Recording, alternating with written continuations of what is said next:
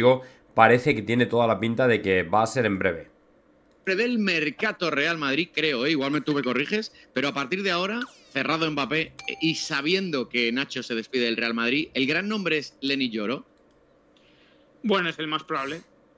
Eh, yo creo que Davis tiene, digamos, en cuanto a jerarquía más, pero es más probable lo de Lloró en estos momentos o más, o más inminente, ¿no? Más inmediato. Eh, sí, se están dando varias circunstancias, ¿no? Eh, Lloró no, va a jugar los juegos. El Lille parece que no, se lo ha cedido a, Francia y no está jugando la Eurocopa. Por lo tanto, tiene una situación ahora mismo. A mí esto me ha llamado la atención porque hasta donde yo sabía o conocía, los equipos franceses tienen la obligación, ¿vale? La obligación de ceder a los jugadores al tema de la selección para Juegos Olímpicos y, compañía.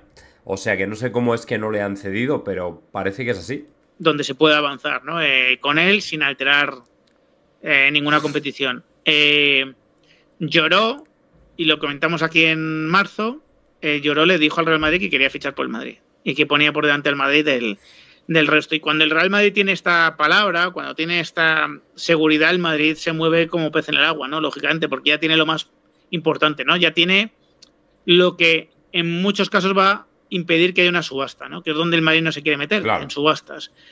Eh, Lloró se lo ha manifestado esto a diferentes clubes de la Premier que, que le han, se han acercado a él. Lo decía el otro día David Torsten, ¿no? Que la percepción, ¿no? Era en la Premier era que iba a acabar seguro en el Madrid y Lloró se lo manifestó al Paris Saint Germain también, que llegó a hacer un acercamiento al Lille eh, directamente con una cantidad de... Vale, o sea que por lo menos en definitiva lo que es más importante para nosotros es que como el jugador quiere jugar aquí, no hay absolutamente nada o prácticamente nada que pueda hacer ahora mismo ningún otro equipo, incluyendo el Paris Saint Germain o cualquier otro equipo de la Premier, para levantarnos a Lloró, porque él ya ha dicho que solamente quiere el Real Madrid. Esto es una muy buena noticia, ¿vale? bastante alta, ¿no? Eh, a partir de ahí empieza a confluir la necesidad deportiva con la visión a largo plazo del Madrid de que ven a Lloró como una pasada de, jugador. Y a mí me consta, a mí me consta que se va a producir, eh, muy inminentemente pues un avance seguramente importante en la negociación ya a nivel clubes, no a nivel jugador Madrid, que el acuerdo es total. O sea, hay, por definirlo de alguna manera, lo que hay entre el Madrid y Lloro ahora es acuerdo total Real Madrid jugador y ahora falta que el Real Madrid y él acerquen las posturas y que encuentren un precio adecuado. ¿Esto significa que el movimiento inminente que eh, anuncias del Real Madrid es una oferta en firme y concreta por el jugador? ¿Al Puede que una oferta, puede que una. o abrir ya negociaciones. A ver, cuando abres negociaciones. Sí, el asunto es que eh, cuando, como va a decir Ramón, cuando se abren negociaciones porque ya más o menos tienes algo avanzado y en un principio la pinta es pues la de que vas a ir a por todo y de que ya está prácticamente todo acordado, ¿vale? O sea que ya de alguna manera no hay que negociar demasiado porque ya todas las partes implicadas tienen en cierto modo la noción o la sensación de que todo va a ir bien. Así que bueno, pues ojalá, yo creo que el Real Madrid cuando abra una negociación es porque realmente tendrá la sensación de que ya prácticamente está todo hecho. Y de que no hay que avanzar sobre nada que no esté ya hablado. Vamos a ver. Negociaciones ya hay ofertas, ¿no? Ya se empieza a hablar de, números, o sea que sí. Yo creo que va a haber pronto algo respecto a eso.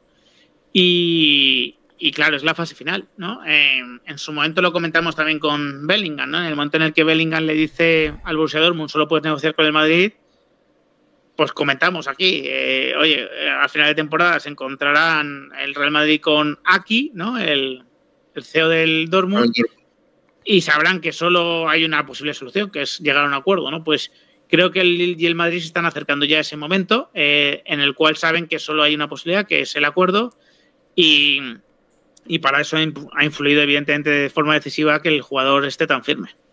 Vale. Eh, ¿Alguna vez hemos hablado de las cantidades del Madrid y el Lille, la distancia? Te lo pregunto, Ramón. Antes vuelvo a recordar a la gente, que seguro que lo habéis visto ya en otros vídeos en el canal de YouTube, que si llegas a estos vídeos a través del canal de YouTube, que sepas que estas charlas entre Ramón y yo las tenemos en directo en el canal de Twitch todas las mañanas. Por si algún día te pilla y quieres venirte, de 9 de la mañana y hasta la 1 de la tarde estamos en directo en Twitch y en multistream en YouTube. Eh, por si estás despierto, te coge, te apetece verlo en directo, que te puedes pasar. Eh, hemos hablado alguna vez a la distancia del dinero que estaban entre el Lille y el Real Madrid, entre lo que uno pensaba que podía recaudar y lo que el otro pensaba que estaba dispuesto a llegar. Eh, ¿Esa distancia en cuánto estaría ahora, Ramón? Fue en 10-15 millones por lo menos, por lo menos. La última información que tuve yo, que no es súper reciente, es de hace días, eh, unos 15 millones. ¿no? El Lille creo que pedía 55, el Madrid podía llegar con variables a 40. Vale. Yo creo que, a ver, la lógica dice que se irán limando esas diferencias eh, porque, porque, insisto, eh, si el jugador se mantiene firme solo hay una posible solución a esto, ¿no? Pero, pero sí, sí, la diferencia era más o menos de eso. A ver, no eran diferencias que hubiesen surgido en la conversación entre clubes, esto siempre lo explico, sino que muchas veces tanteas de otra manera, ¿no? Incluso a través de Jorge Méndez puedes tú saber cuál es la pretensión del Lille y puedes saber también cuál es eh, el máximo del Madrid, ¿no? Yo creo que aquí la figura de Jorge Méndez está siendo absolutamente crucial porque en definitiva es el que está, yo creo, haciendo acercar posturas a ambos clubes. O sea, al final la figura del representante, la figura del mediador es importante por eso, porque él tiene que lograr que se haga el trato y hacer ver a ambas partes que para los dos es positivo que se cierre. O sea, lo que tienen que hacer es intentar encontrarse en algún punto para no dilatar un tema que realmente podría estar perfectamente hecho para 3, 4 días o una semana o algo parecido. Con lo cual, yo creo que la figura de Méndez tiene mucho que ver y es muy, muy importante. Así que bueno, vamos a ver. Pero en cuanto empiecen las conversaciones entre los clubes, eh, yo creo que se acelera todo, ¿no? Eh, es más fácil llegar a, un acuerdo así. Vale. Eh, ¿Te parece buen precio lo que está pidiendo ya el Lilo, el acuerdo al que se puede llegar por un central de ese tipo? A mí me parece un poco alto lo que pide el Lille porque tiene un año de contrato. Y es un juvenil que no está en la Eurocopa. Eh, en lo que dura este vídeo. Claro, efectivamente. Es que el problema aquí es ese, que ellos se creen que pueden sacar muchísima pasta, pero realmente le queda un año, es un chaval, no pueden pedir tanto. Aunque quieran, no pueden. Que lleva, ¿qué? 40 partidos en, a nivel profesional, a lo mejor. Creo que va muy alto el Lille. Eh, y que es lógico que el Madrid se marque otro límite, ¿no? Porque además, tú date cuenta, el límite que se marque con Lloró o que trascienda con Lloró eh, va a ser parecido al de Davis, ¿no? O sea, va a ser difícil justificarle al Bayern, oye, ¿por qué con Davis te pago menos que lo que le paga el Lille? Pues lloró, ¿no? No dejan de ser jugadores jóvenes, aunque más joven lloró, más incertidumbre en ese aspecto, eh, y, con un año de contrato. Entonces, yo creo que el Madrid también valora ese tipo de cosas, el fijar sus propios límites para ser coherente después en otras negociaciones.